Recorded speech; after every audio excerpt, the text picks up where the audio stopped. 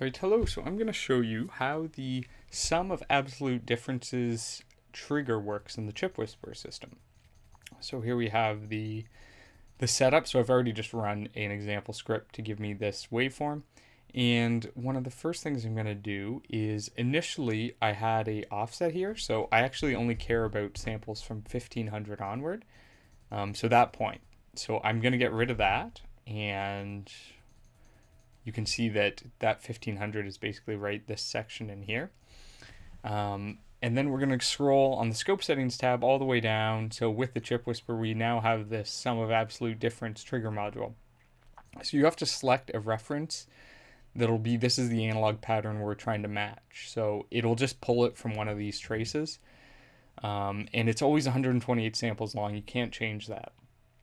So what we want is we want to select an area that is fairly constant. So for example, this is pretty good. As I'm doing different um, runs, and by different runs I mean, you know, it's sending different plain text, that looks like a pretty constant area. If I, for example, were to select here, um, you can see that it's changing a lot. But we'll, we'll measure that to confirm our suspicions are right.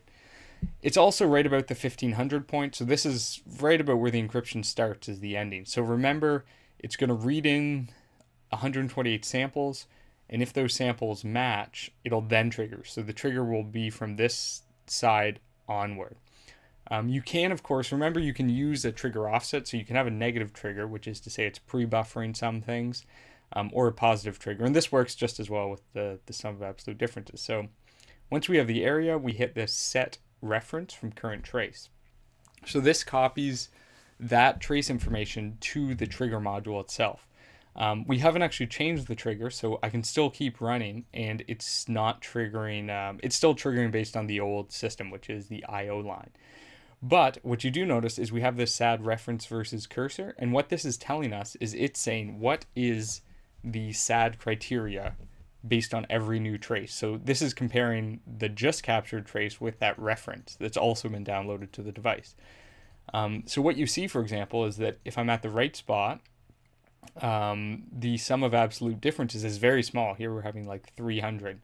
Um, the the sum of absolute difference, by the way, so it's using the unscaled ADC samples, which range from zero to 1024. It's 10-bit ADC. And if you change, for example, you can say, well, if I move just one sample off where it should be, we see that the sum of absolute differences is huge. So this is really good. So this means that nowhere else in the trace is it coming close to matching that uh, that pattern, except just that one spot that was you know just right. So where was it? It was somewhere in here. I think it was about 41.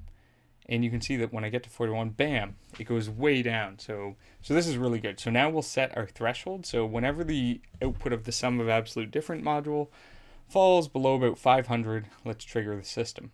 So the final step we have to do is we actually select the trigger source. So right now it's still using the the out this these trigger pins. So we tell it to do the SAD match and we make sure it's set to rising edge. The output of the SAD trigger basically generates a rising edge event. Um, we still need to set it to rising edge. If you set this, leave this at low, for example, it won't actually trigger on the, the SAD match. So that's just sort of a little note. So now when I hit play, all of a sudden we see the, the triggers moved and it's actually triggering it entirely based on the analog waveform.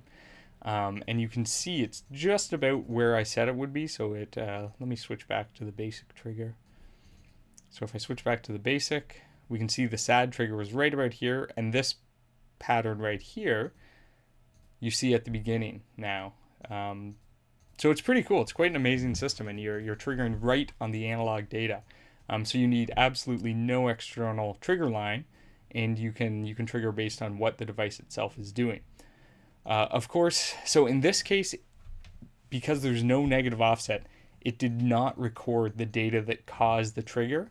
Um, so after it's read in 128 samples, it sees those samples matched, and that takes about five additional samples.